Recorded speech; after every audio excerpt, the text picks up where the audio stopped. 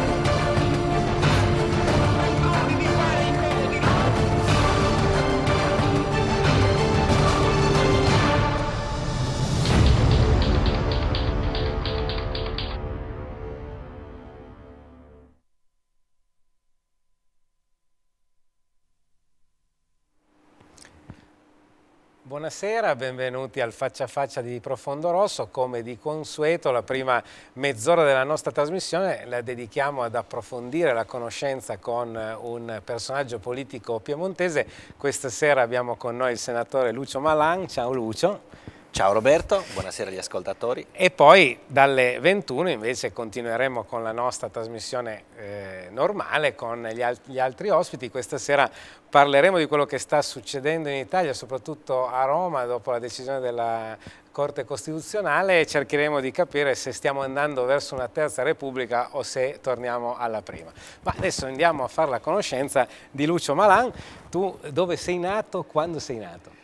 A Luserna San Giovanni, in Valpellice, eh, provincia di Torino, nel lontano 30 luglio 1960. Mamma mia, sei, tanto sei, tempo. Sei, eh. sembri molto più giovane. Grazie. Sposato, figli? Sono sposato, due figli da un precedente matrimonio, Alexandra 23 anni, David 21, e ho una figlia di 5 mesi, ha compiuto Eh, 5 mesi bellissimo. ieri dal da Maria, che è la mia attuale moglie, siamo sposati nel 2005 e abbiamo avuto la gioia di questa bambina. E, e come fare il, il, papà, diciamo, non più giovanissimo? È bellissimo. È È bellissimo. bellissimo, e... No, è una più- domanda interessata perché io ho una figlia di due mesi, hai capito? Ah, vedi? cui- e allora lo sai anche tu. Eh, è bellissimo perché si è più consapevoli. È stato Sì. bellissimo eh, i primi due figli, ma qui c'è forse ancora un pochino più di consapevolezza. È quasi a- si, si ha maggiormente la sensazione del miracolo perché tutti i bambini sono un miracolo, ma alla mia età si è ancora, più coscienti. Ancora di più.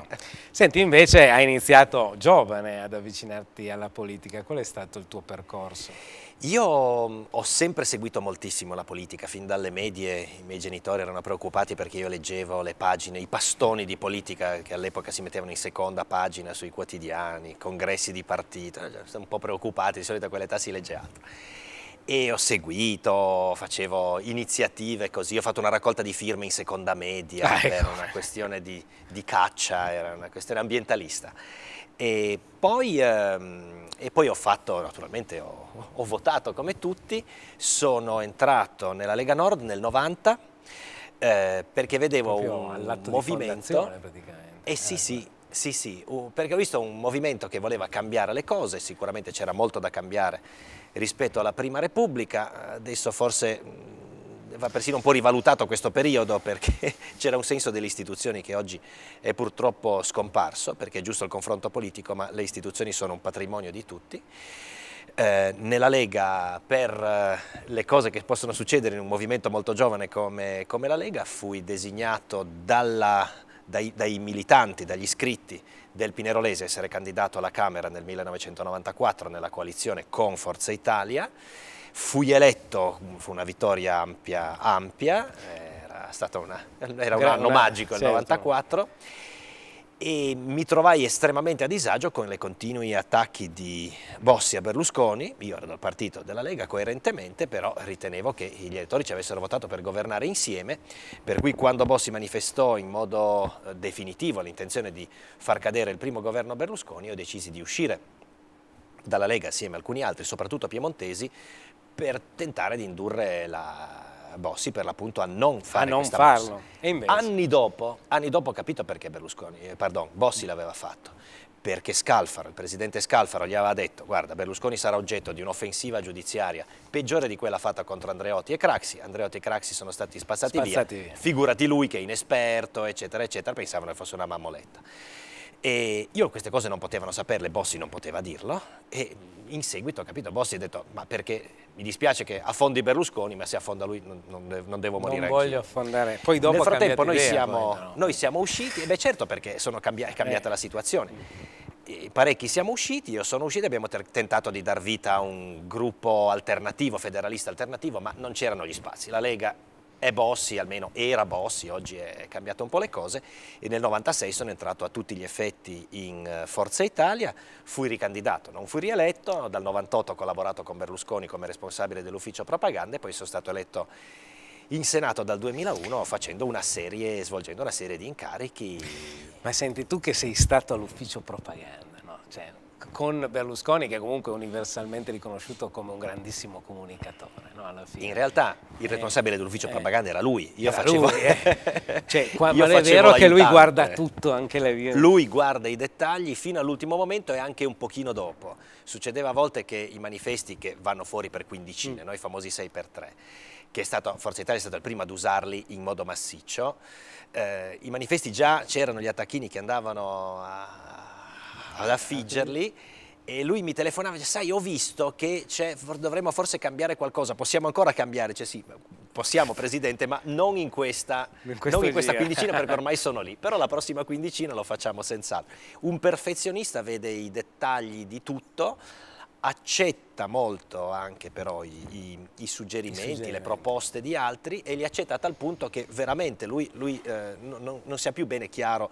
se quella certa idea l'ha avuto io, l'ha avuta Tizio o ce l'ha avuta lui, perché tanto lui la fa sua ed l'importante è, è ovviamente le decisioni eh, le, le- le ha, le ha prese lui su, in questo campo e anche in molti altri, però è- è- assorbe molto quello che, quello che gli sta intorno. Adesso su Berlusconi ci torniamo dopo, invece volevo chiederti, questa vita passata vicino alla politica, ad alti livelli, eh, ma anche sul territorio, eh, alla fine questa politica per te è più una passione o una droga? Perché io ho visto tanti parlamentari non essere più parlamentari patire proprio di, di- di- di distacco dal- da questa cosa. È sì, effettivamente una verifica giusta, hai, hai ragione, vedere cosa succede quando non lo tu sei. sei stato per un certo periodo... Io ho fatto, una, infatti dicevo, ho Eh. fatto una carriera molto rapida, a 35 anni ero già un ex parlamentare, perché, perché nel 96 sono stato ricandidato nello stesso collegio Eh. dove ho vinto nel 94, Eh. cambiata la situazione politica, Data ho male. perso e, e per cui mi sono trovato a Mm. essere ex parlamentare. Da un punto di vista personale nessun, nessun problema, Nessun Cioè, problema. io come dire, ho, ho- ho- una buona considerazione di me stesso con la dovuta modestia. Ce l'avevo già prima, eh, da deputato mi sono sentito chiamato un grande onore, non essendolo più stato, niente, si, si fanno- poi naturalmente si tratta di riadattarsi dal punto di vista anche dell'organizzazione della vita, poi lì sono successe varie vicende familiari che hanno Eh. complicato questo seguito, ma è stato più quello che la perdita del seggio. Io devo dire, come dire, per un verso mi ci sono sempre sentito portato, ho detto no, che leggevo fin da, da ragazzino i- le, le cose, le cose di politica. Ehm, ultimamente la trovo molto più pesante perché c'è un clima molto peggiorato, c'è un clima dove è più, è più l'urlo, è più la, la- la diceria che non la notizia o la cosa, Certo. o la cosa vera. C'è un rispetto delle regole che sta declinando e eh, francamente lo sento di più come missione. Mi succede abbastanza spesso di pensare ai numerosi lavori che ho fatto, perché sono giovane, ho iniziato giovane nella politica, ma a differenza di un noto sindaco di una città dell'Italia centrale che fa tanto il nuovo ma non ha fatto un minuto di lavoro al di fuori della Sì. politica, parlo di Matteo Renzi, io ho iniziato politica da giovane ma ho fatto molti lavori fin da, fin da giovanissimo e, e so benissimo qual è la realtà al di fuori della politica. Ecco, e, che- e tante volte mi succede di dire però che bello quando facevo l'insegnante, E questo per esempio, no? o quando lavoravo in banca. Con, con l'immagine purtroppo dequalificante che ha la politica il politico oggi, ecco, non, non ti sei mai pentito di magari se tu avessi Eh, fatto l'insegnante, magari avresti scritto dei libri, avresti avuto. Io quando ero insegnante mi piaceva un vecchio film inglese che si chiamava qualcosa tipo Tanti auguri, Addio Mr. Chips, che era di un insegnante che aveva iniziato in- eh, giovanissimo la sua professione e aveva insegnato fino a 80 anni. Io mi, mi, mi andava bene quella carriera lì, poi la vita, la vita, è varia e ti sorprende sempre, anche perché è scritta da uno, da uno che ci sorprende. E, però mi, mi andava bene quello. E devo dire, mi sono detto, se sono stato mandato a fare questo è perché c'è una ragione e non, non, me ne pento, però devo dire spesso è molto pesante perché se uno fa degli sbagli è giusto che sia accusato e la politica è questo, le critiche anche pesanti, ma essere criticato per cose che, che, che non sono vere o che non hai fatto in modi del tutto strumentali, ecco. questo, questo, è brutto ed è un male per tutti. Poi uno finisce che ci si abitua, però io non ci credo tanto a quelli che dicono ah no, ma io mi diverto quando mi insulto. Cioè, no, no, non, non è, è così. Bisogna, come dire, inspessirsi un po' la pelle, però non troppo perché altrimenti si diventa insensibile e chi non è sensibile non, non è una vera persona. Ecco, senti, la politica vista oggi purtroppo come al 100% Marcia in realtà non lo è, però ci sono successe alcune cose in Italia che chi non segue la politica tutti i giorni è stato investito per esempio dallo scandalo dei rimborsi delle regioni che come dicevamo la scorsa settimana avevo i consigli regionali, si diceva sono poi 22 centesimi a testa per ogni piemontese, no? ce ne portano via ben di più con le tasse, però dà molto fastidio. Perché c'è stata questa degenerazione secondo me? Ma... Eh prima di tutto non bisogna fare di ogni erba un fascio, cosa che è molto facile, no? perché purtroppo qui a quanto pare qualcuno ha veramente fatto delle cose certo. fortemente irregolari, ma qualcuno è finito nel mucchio e si è ricevuto magari un avviso di garanzia, magari pure un rinvio a giudizio e poi si scopre che invece che le cose erano in regola o quasi perlomeno. Ehm, e forse, come dire, un ci si è dimenticati che di tutto quello che si fa bisogna rendere conto e allora dice ma sì, ma lo faccio un giorno, poi lo faccio due, poi lo fanno gli altri ed è questo può succedere da qualunque parte. La faccenda è che se sei un politico c'è la tua faccia tutti i giorni sul giornale, mentre invece se fai un altro mestiere, che so, quello che timbra al posto dell'altra cosa di questo genere, sì, si dice una volta, però non è che c'è la tua faccia no, per un certo, mese sul giornale. Sì. E lì è, come dire, e poi sono persone che dovrebbero dare l'esempio, eccetera, eccetera. Però non bisogna dimenticare che non è che i politici vengono giù dal cielo e neanche su dall'inferno, insomma, sì. cioè sono persone come tutte le altre, tant'è vero che fanno, hanno fatto, a volte faranno altri mestieri e che come tutti sono soggetti a determinate tentazioni. Il politico ha la possibilità di prendere delle decisioni che in molti altri ruoli non, non hai e allora può avere questa tentazione in altri lavori c'è di meno, ma anche in altri. Guarda, io quando sono stato relatore della legge anticorruzione ho mm. saputo una cosa, c'era una statistica fornitaci dagli uffici eh, giudiziari, dal Ministero della Giustizia, dal quale risultava che per corruzione, concussione e reati connessi solo l'1% erano politici,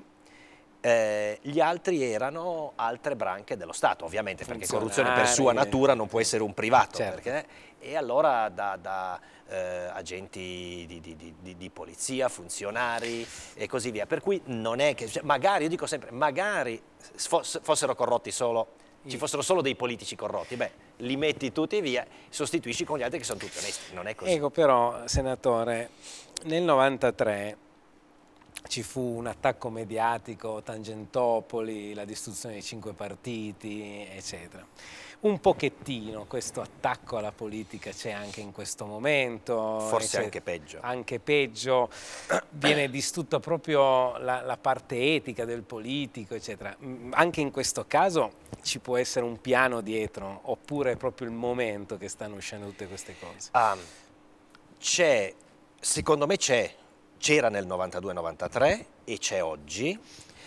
eh, naturalmente eh, non è che allora quelli che metti nel 92, 93 o oggi hanno rubato, non è vero che hanno rubato.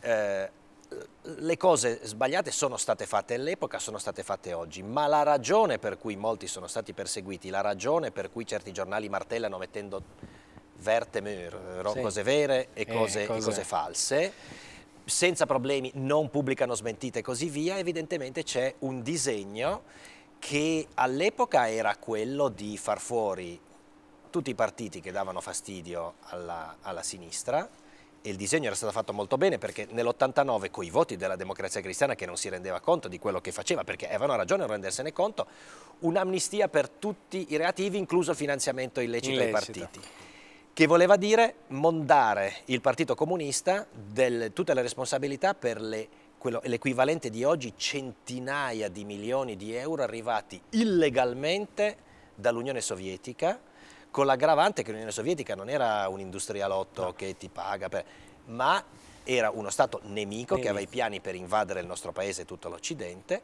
e per cui questo, vabbè l'amnistia è tutto a posto, adesso poi sono quelli che no, mai amnistie. Finito quello, molti, molti degli partiti del centro-sinistra, come si chiamava allora il centro-sinistra, che in pratica era il centro-destra, sì. oggi si chiamerebbe probabilmente, pensarono, vabbè siamo a posto, siamo abbiamo, a posto. abbiamo avuto qualche problemino, ce l'avevano anche loro e invece li hanno inchiodati sulle cose fatte e a volte non fatte, proprio in quegli anni lì, dall'89, 92, 93, fatti tutti fuori. Oggi, secondo me, il disegno è mm. più ampio ed è quello di depotenziare gli organismi democratici e infatti anche questo è, l'atmosfera è questa, all'epoca ce l'avevano con i politici perché, tende, perché, spesso i politici erano corrotti, certo. ma ce l'avevano perché erano corrotti, oggi ce l'hanno con i politici perché sono politici. Perché sono politici. Cioè, ma io non ho mai rubato, ah non importa, quindi, sei lì e dunque sei un bandito. E lì volevo arrivare, e, dunque, e qual è l'alternativa quindi? L'alternativa... Se, se, se, è il sistema democratico, perché il sistema democratico porta a eleggere dei politici, alla fin fine. Porta, chiedo scusa. Ad eleggere dei politici. È per forza. Se io ce l'ho con politici la politica... ci sono sempre, eh? eh cioè, Mussolini era un politico, certo, non è che certo, fosse sì, un, siamo un politici democratici. Allora. No, no, ecco, no, no, no, no, però eh, a volte si pensa, dietro, a volte si identifica politica con democrazia certo. quando non è il caso è politica anche quella dei, dei, ah, dei certo. monarchi assoluti, sì, sì, cioè, Luigi XIV non è mica che fosse un artigiano, era un politico, solo politico assoluto.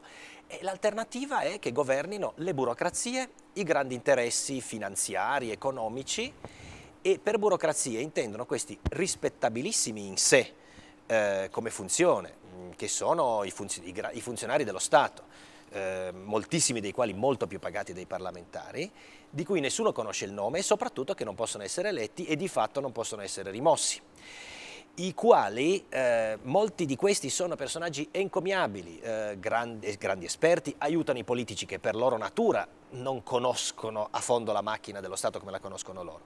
A volte però aiutano se stessi, aiutano interessi che si collegano con loro. I grandi interessi hanno molto più facilità a trattare con un funzionario che, che non deve rendere conto al popolo, certo. piuttosto come un politico che se rende conto al popolo, anche se magari non, tanta non, avesse tanta voglia, però poi gli elettori dicono ma scusa, ma tu perché non hai fatto niente su quella porcheria certo, lì? E allora rispondi, uno si deve almeno... anche se non fosse così certo. spinto dall'ideale. Il funzionario che gli importa a lui? Nessuno sa il suo nome, non rende conto a nessuno, il politico passa e lui resta e per cui i grossi interessi hanno molte più facilità a trattare con loro. Per cui, che so, Via il Senato, benissimo, oggi le leggi sono fatte al 95% dal governo e cioè dai funzionari del governo. Certo. Se si toglie il Senato passiamo al 99%, perché ha un solo passaggio, poi dobbiamo fare in fretta perché salviamo l'Italia. Esempio Salva Italia, quante schifezze sì. c'erano dentro, tanto per dire, non parlo di, di, di, di ruberie, parlo della mostruosità degli esodati che se si fosse se ci fosse stata la possibilità di seguire la Costituzione, cioè esaminarlo realmente sia alla Camera sia al Senato, invece no, metto lì, c'è fretta, fiducia perché se no l'Europa eccetera, risultato delle cose. mostruosità. E allora lì è stato un danno per centinaia di migliaia di lavoratori. E poi magari qualcuno si è anche aggiustato con qualche bel aiuto alle banche, i 4 miliardi al Monte dei Paschi e così via. Quindi insomma dici che la Terza Repubblica potrebbe essere una tecnocrazia, insomma. Io spero che la Terza Repubblica sia un recupero dell'amore per la libertà e per il nostro Paese, perché qui purtroppo tra il dare addosso alla democrazia e il dare addosso al nostro Paese dicendo solo in Italia, prima di tutto tutte le cose brutte che succedono nel nostro paese magari non succedessero solo in Italia. Emigriamo e siamo a posto. Non è vero, succede anche altrove. I politici tedeschi non sono corrotti, ma quando mai? Tutt'al più chiedono prezzi più alti da quello che... le rare volte in cui emerge qualcosa. Sì. Per cui non è assolutamente vero, non bisogna fare... perché è stupido fare una cosa di questo genere. Ma questo non vuol dire che... Ah, visto che lo fanno anche gli altri. No, no, noi dobbiamo pretendere eh, da, da, da, da, tutto, non solo dalla politica, l'onestà e, e, la trasparenza ma, e dobbiamo avere coscienza che non abbiamo nessun motivo di ritenerci inferiori sì. agli altri paesi, certo se ci impegniamo, se ci impegniamo a fare schifo, facciamo schifo bene. Senti senatore, hai detto Berlusconi è l'uomo che ha raccolto più preferenze al mondo, per questo lo si è voluto far fuori, è così? Eh beh sì, eh, perché uno dice è una tale è proprio sistematica la cosa con, con, Berlusconi, cioè da quando è entrato in politica gli si è passato al vaglio tutti i movimenti bancari, ogni documento, i bilanci delle sue aziende, che se l'avessero fatto con la maggior parte delle persone, anche che abbia avuto una vita, eh, una vita di, di, di imprenditoriale più semplice di quella sua, qualcosa fuori posto avrebbero trovato.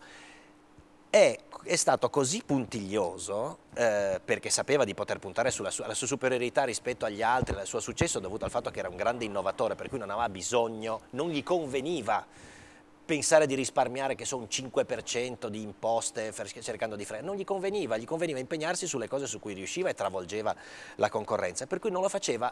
Intanto secondo me perché era onesto, ma naturalmente nessuno ci crede a queste cose perché si vede, si deve forse... Mettiamola bene, non gli importava niente, non gli conveniva. Tant'è vero che per fregarlo hanno dovuto tirar fuori una, una, una, una, frode fiscale di cui non solo non ci sono le prove, ma la sentenza stessa dice che, che non ci sono. Cioè non è che lo dico io, la sentenza dice che non c'è nessuna prova che dei soldi da questo famoso agrama sì. che sarebbe il finto intermediatore mm dice che non c'è nessuna prova che dei soldi da Grama siano arrivati a Però? Berlusconi. Ma allora perché Berlusconi avrebbe eh. dovuto dargli dei soldi? E allora per perché l'hanno condannato? E, perché loro si sono si inventati presume. che l'hanno condannato sul fatto che lui, anche se non è quello che ha fatto la frode, perché mm. non era più presidente di niente, ha ideato la frode, cioè sarebbe come se c'è un omicidio, uno spara a un altro, non condannano quello che spara, condannano quello che ha progettato la pistola, cioè una, una cosa totalmente allucinante, poi è venuto tutto il resto, la legge Severino ritagliata su Berlusconi, eh, il decreto che non corrisponde alla, alla legge che, che, doveva, che legittimava il decreto, l'applicazione retroattiva che non esiste paese civile al mondo che lo faccia e infine la cosa più evidente, più sporca, più vergognosa, il Senato che viene fatto votare a scrutinio palese quando il regolamento del Senato è di una chiarezza insuperabile e cioè dice si votano a scrutinio segreto, si effettuano a scrutinio segreto le votazioni comunque riguardanti persone. Senti, su questa cosa dello scrutinio palese segreto, forse non tutti i cittadini hanno capito bene perché poi vi siete confrontati molto su questo, ma non si è spiegato perché. Il concetto è questo, se si fosse votato a scrutinio segreto, Secondo te sarebbe cambiato il risultato? Piccolissima premessa, mm. se anche avessimo avuto la certezza che non si spostava neanche di un voto, se la legge dice in un certo Devi modo, si così. fa in un certo modo, così come la legge ti dice che se un, ecco, se un elettore viene fuori dalla cabina e dice guardate io ho votato Partito Democratico, Forza Italia, quello che gli pare, gli mettono una multa a 300 euro e se fa la fotografia per farlo certo, vedere agli amici, certo, anche soltanto, 300 euro di multa. Eh. Invece lì c'è una legge che, che, è chiarissima, dire che il voto è comunque riguardanti persone. E lì era chiaro, si votava, se Berlusconi restava senatore o meno, bisognava votare segreto. Detto questo, penso proprio che stato, il risultato sarebbe stato diverso, non so se è abbastanza diverso da salvare il, la, la, la, il ruolo di senatore a Berlusconi, ma se non, c'era questo pericolo non si sarebbero accaniti in questo modo folle a, a, a, a stravolgere il regolamento. Ma non, chi glielo faceva certo, fare? Se chi non cambiava il risultato, la eh. percezione che si sente in Ma perché non il risultato perché non concedere queste Ma certo, ma tanti colleghi anche no. de, della sinistra sono stati profondamente a disagio di fronte a questa cosa. Però, però essendoci lo scrutinio palese è andata nessuno, così. Nessuno ha avuto il coraggio se, di votare senti, ma alla fine non pensi che il fatto di non aver salvato, tra virgolette, Berlusconi in realtà lo stia potenziando? Eh, sì, perché i cittadini vedono al di là dei trucchi, al di là delle, de, de, del, gioco, del, gioco, sporco, cioè se in due squadre di calcio, in una partita di calcio il l'arbitro fischia rigori che non ci sono contro una certa squadra, di quella squadra gli butta fuori i giocatori, sì sì può darsi che alla fine l'altra squadra vinca, ma mi sa che guadagna tifosi la squadra che, e siccome qui non contano i gol, ma contano i tifosi, cioè gli elettori, perché siamo in democrazia, grazie certo. al cielo e grazie a tanti che si sono sacrificati per farla nascere e per difenderla questa democrazia, eh, il vantaggio, il vantaggio è, è, per noi perché appare chiaramente che insomma, uno che gioca così sporco deve avere qualcosa di brutto per, per la testa, perché non, non, si può giocare sporco per, fare, per degli obiettivi puliti. Senti, un'altra cosa che molti non hanno capito Eh, a un certo punto, circa un anno fa, erano usciti eh, dei sondaggi che avevamo anche dato qui eh, a, a, Profondo Rosso eh, sul eh, PDL che eh, andava tra l'11 e il 12% nazionale. In quel momento si parlava di primarie, Meloni, Alfano, eccetera. Poi a un certo punto Berlusconi torna in campo e abbiamo visto che c'è stato una sorta di raddoppio, di raddoppio di voti poi alle elezioni politiche. Allora, quello che si, si chiedono tanti osservatori, ma perché questa, questa, rottura di Alfano? Perché lasciare un po' questa certezza di, di, Berlusconi per compiere questo viaggio da solo? Con... Io credo che Alfano abbia fatto mh, un errore di calcolo e, e, poi sia stato trascinato dai più, diciamo così, dai più estremisti dei suoi, cioè Alfano non pensava di rompere, mm. eh, pensava faccio la voce grossa, faccio una semiscissione, una minaccia di scissione, alla fine Berlusconi mi dirà ma sì dai sei il mio successore, stai lì, io ti do una mano e, e, e pensava di avere come dire, no, la botte piena e la moglie ubriaca, cioè essere lui il leader ma avere Berlusconi che gli dava pure una mano perché altrimenti da solo rischiava di finire come dicevano i sondaggi di, di, di un anno e qualcosa eh. fa. Eh, poi si è trovato in una situazione tale con alcuni dei suoi, non sto neanche a menzionare, che facevano delle sparate allucinanti contro Berlusconi, contro, contro gli altri di Forza Italia, contro Berlusconi in modo indiretto ma contro il resto del partito che lui si è trovato in una situazione dove o veramente otteneva tutto, cioè che Berlusconi gli dava pieni poteri e magari, non so, nominava pure erede, eh, oppure lui faceva brutta figura e il risultato si è trovato a fare questa cosa in cui secondo me neanche lui ci crede molto. E Beh, non credendoci molto, se tu non credi in quello che fai, gli altri non crederanno in te. Sì, se, se, dovessero Dopodiché. tornare indietro, vale la politica del figlio il prodigo oppure non li prendete più? Io una volta ho detto a Berlusconi che ci sono diversi personaggi nella parabola del figlio il prodigo, è un ragazzo che, mm. della, del, di una chiesa valdese della mia valle, eh, è noto che al catechismo gli fecero la domanda chi si rattristò per il ritorno del figlio il prodigo e chi aveva fatto la domanda la risposta doveva essere il figlio che era sempre stato sì. lì. E lui scrisse il vitello grasso. Ah, fantastico, va bene. allora, nessuno di noi vuole fare la fine del vitello grasso, ma se ritorna il figlio prodigo non, non lo cacciamo via e la politica è abbastanza così. Da lì a dire va bene, fai il leader, eccetera, sì. eccetera, beh, piano. Lo, lo vediamo, lo ringraziamo il senatore Lucio Malan che si ferma qui con noi, ci stanno raggiungendo Monica Cerutti, eh, l'onorevole Paola Bragantini, l'onorevole Mariano Rabino e la senatrice Maria Rizzotti, tra pochi minuti dopo la pubblicità inizia il dibattito, parleremo della Terza Repubblica, cercheremo anche di capire cosa è successo dopo la sentenza della Corte Costituzionale. A tra poco.